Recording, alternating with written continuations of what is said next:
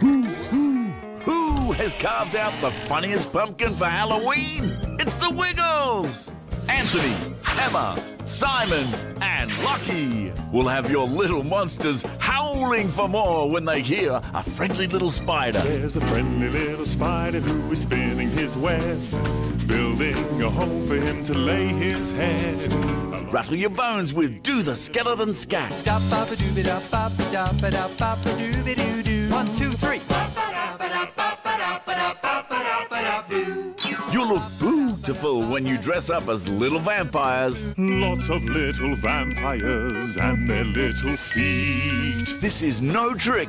It's a real treat to hear the Fab Four of Fun.